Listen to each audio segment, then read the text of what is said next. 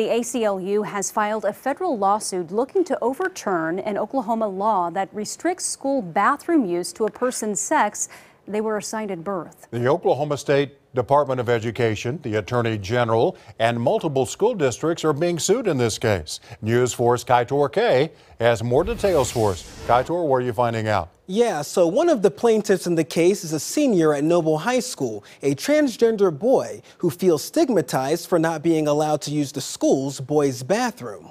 It's a violation of the 14th Amendment's Equal Protection Clause, and it's also a violation of the federal statute Title IX, which requires that the treatment between sexes be the same uh, in order to get federal funding in public schools. The ACLU of Oklahoma challenging Senate Bill 615, which restricts state school bathroom use to a person's assigned sex at birth. One of the plaintiffs is Andy Bridge, a 16 year old senior at Noble High School.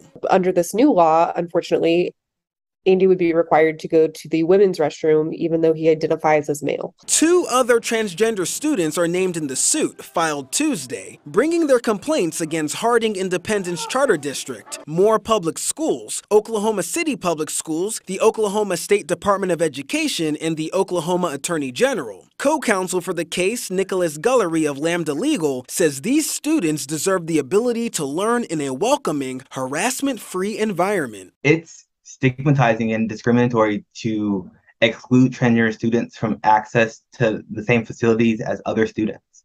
Um, no one should be told that they're um, so shameful that they shouldn't be allowed to participate um, in such a thing as simple as using the restroom along with their peers. News 4 has reached out to the State Board of Education, AG's office, and all the school districts involved. Each say that they cannot comment on pending litigation.